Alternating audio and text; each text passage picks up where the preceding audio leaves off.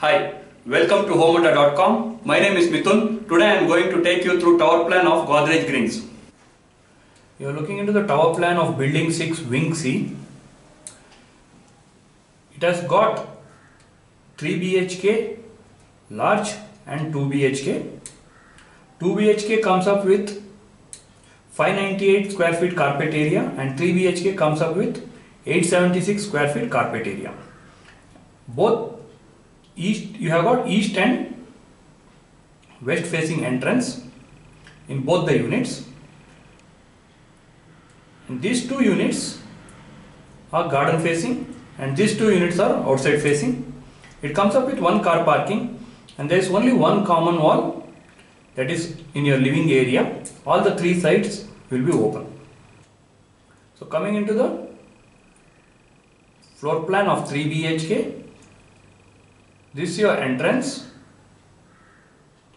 This is a living come dining area. Here is the terrace. This is the master bedroom with an attached toilet. This is your second bedroom which also has an attached toilet.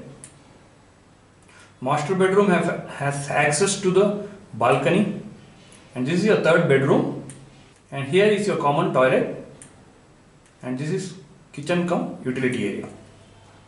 And coming into the 2 BHK plan, this is the entrance. You have living come dining area. This is the balcony. This is the master bedroom which has an attached toilet and this is the second bedroom. Both have access to the balcony.